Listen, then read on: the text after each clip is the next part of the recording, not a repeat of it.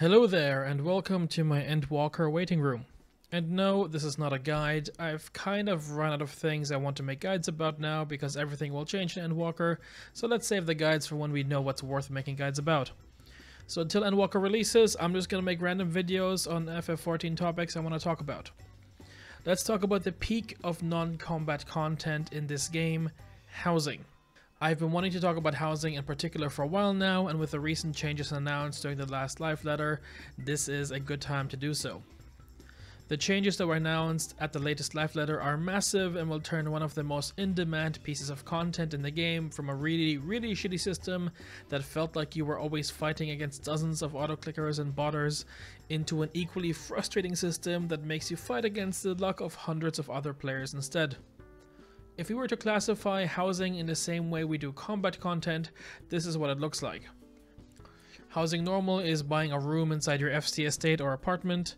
Housing hard is finding the mental willpower to decorate your room or apartment so it doesn't look like you are a warrior of light living like a college student inside of a shitty dorm on a mattress without sheets and you're just TV like plonked on the ground.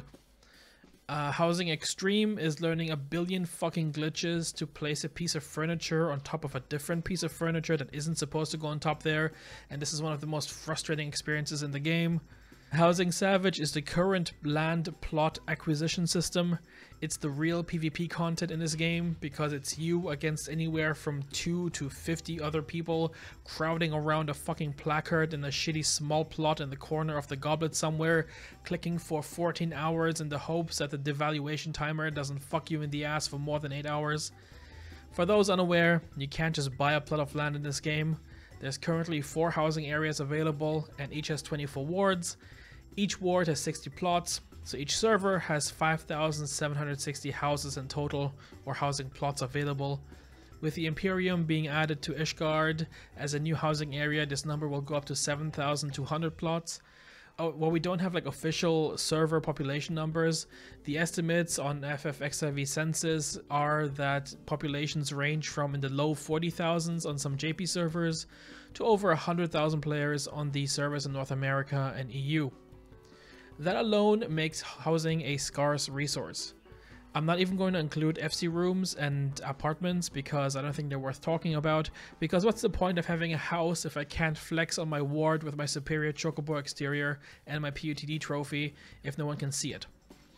If we assume that a server like Balmung gets over 100,000 players, or has over 100,000 players, then barely 7% of the population gets to own any real estate in the game. Should a plot of land become available in the current system, it's not immediately available for purchase. Plots of land become available when someone transfers to a different server, if they fail to enter their house for more than 45 consecutive days, or if they willingly relinquish ownership to their plot in the first place. Now once the land is available, there's two timers that start. One is the publicly visible devaluation timer, which is like a red herring. A plot of land gets cheaper the longer it's available for, decreasing a few percent every 12 hours or so.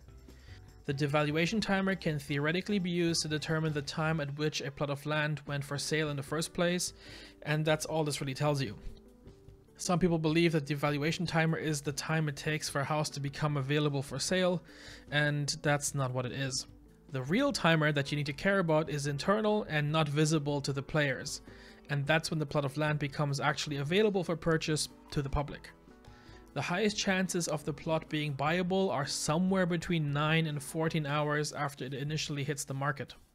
Now what really pisses players off is the fact that if you already own a house, you can entirely bypass this hidden timer, or at least you'll be able to for the next few days until Endwalker hits. All you do is show up at the placard and you can relocate your estate to the vacant plot of land. So the strategy that most people, including me, employed over the last couple of months or years is to know life outside of a shitty plot that no one wants to buy. Click the placard for hours until you can until you get lucky enough to buy the house, and then relocate to a nicer plot should one become available later down the road. This is basically the only way currently to get a medium or large size plot for majority of the servers by using the powers of relocation. Now, it goes without saying that this system is flawed as hell, and there have been many videos and articles and rants about it on Reddit. I can understand the logic behind the hidden timer for the vacant plots. It's to prevent people from buying and flipping plots or uh, or to combat people using housing for RMT sales. I get it.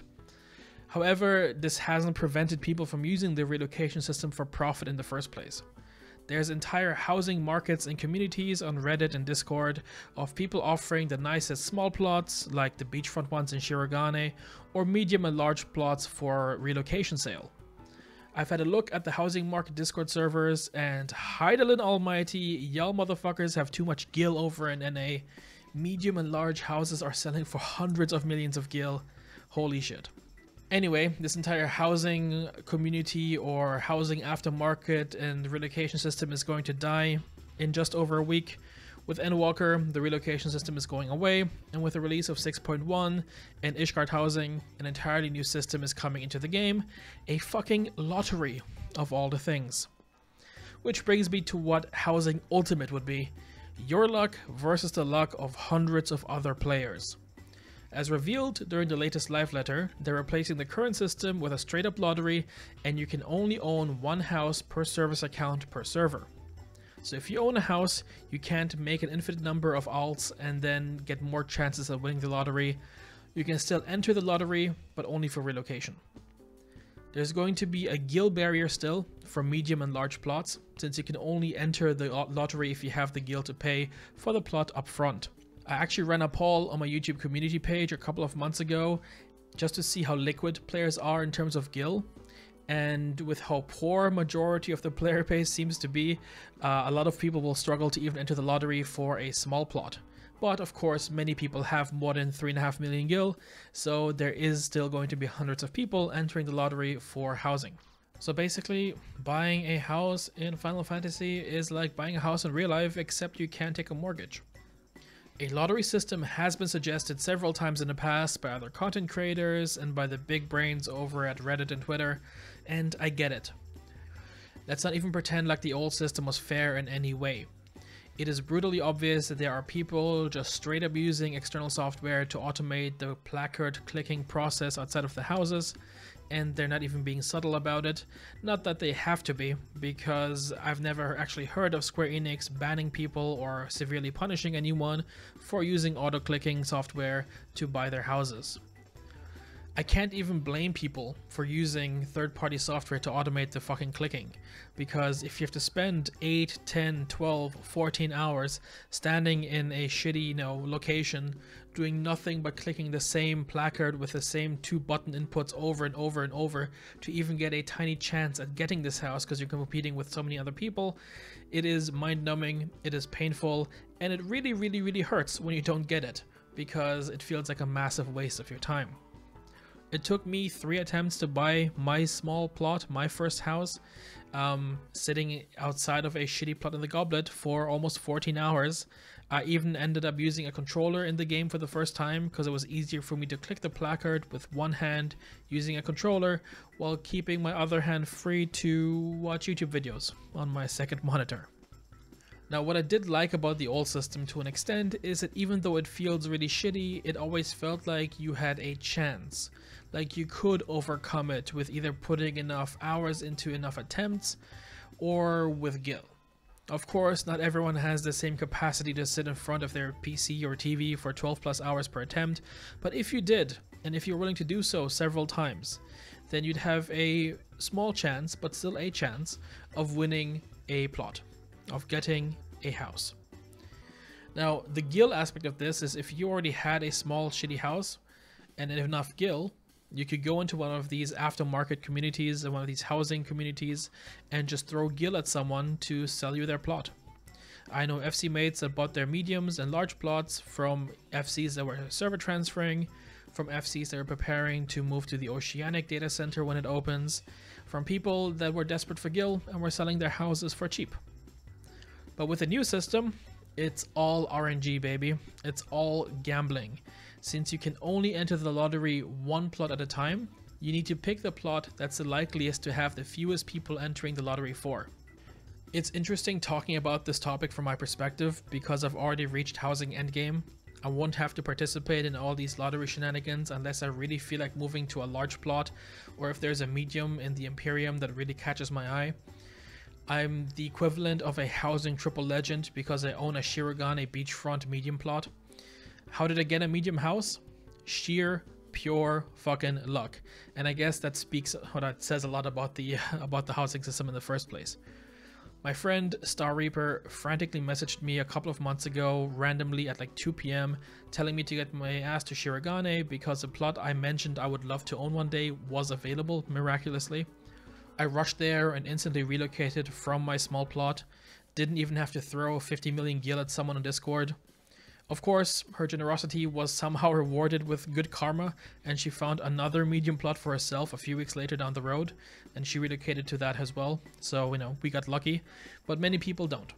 And my take on the lottery system as a whole is it's a step in the right direction, but it's not a great solution to a problem that Square Enix created with their spaghetti code. If I understood correctly, each housing ward exists on a separate physical server, which is a limiting factor in why there are only 7,200 plots available per, per server in the first place.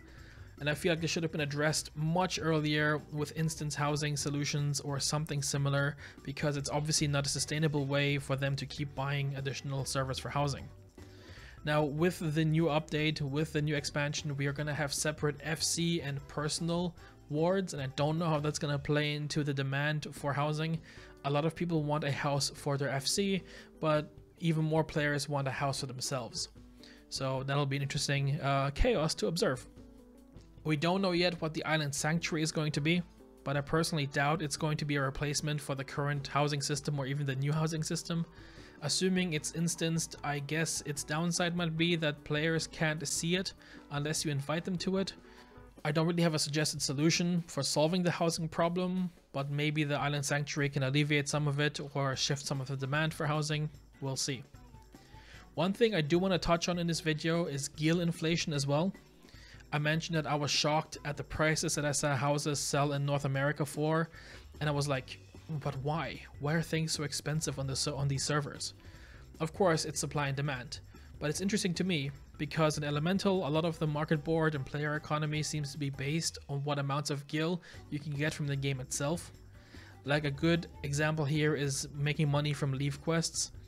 I know that people like using coffee beans, but real gamers like me prefer the Dwarven Mythril files because the profit margins are like 20% higher. If you average around 8k per file submitted, you submit 3 files per leve quest per day. That means you get 6 of them so you do about 18 of them per day. Uh, if you don't miss a single day, you do this every day for the year, you just make over 52 million gil per year. And this is being nerfed. Right, so if you did zero market board shenanigans, you know, if you had no other source of income, but the most efficient way the game generates money for you, which is, you know, leve quests. So after a year of doing non-stop leve quests, right, or spending like what half an hour per day doing them, you can barely afford a large plot, right? And there aren't that many other ways to make money in the game other than the player economy. So in servers like North America and some of the popular EU ones, where a lot of the prices seem very inflated, and there seems to be a lot more gil in the economy in the first place because of their their larger player base and people just you know being more monetarily invested um, more and more players will be able to enter the lottery for medium houses and for large plots right? So these lotteries will become more competitive more populated and more rng heavy. While on a jp server you might have 10 15 people competing for a large plot i'm estimating there'll be hundreds trying to get large plots in north america making housing even more exclusive even more rng and now even less accessible because there is no more aftermarket so overall, my take on the lottery is it's a good direction, but not a solution. It eliminates a lot of the really, really dumb, painful moments, but replaces them with pure, pure, pure luck. And of course, the current system is still very much luck dependent, but it always felt like you had a chance, right? You had a shot, you can try again. Now it's just like, you know, you submit your lottery ticket and you wait for a couple of days, and if you get lucky, you do. And if you don't, well, then you get your money back and you try again. Right, and uh, I'm not sure what this says about housing as a whole, but I do believe that uh, that housing is now truly ultimate content. right? Housing is now ultimate. If it was if it was savage before, it's now ultimate level. And uh, for all the people out there aspiring to get a house, good luck. I'll be cheering you on from the sides, and I'll be laughing at the new players entering the game, realizing that housing in this game is endgame, but also pure luck now. For those that have houses, welcome to the club of uh, a fairly exclusive subset of players now and uh, I wish you all the best in Endwalker. That's all I have for you today. Thank you for listening to my housing rant. Um, I hope this was relatively entertaining. Um, I'll have more videos coming up with Endwalker, maybe one, maybe two more. But then I'll see you guys in December for Endwalker. I hope you guys have fun. Feel free to drop by my Twitch stream, twitch.tv slash alzahard. And uh, see you guys soon. Peace.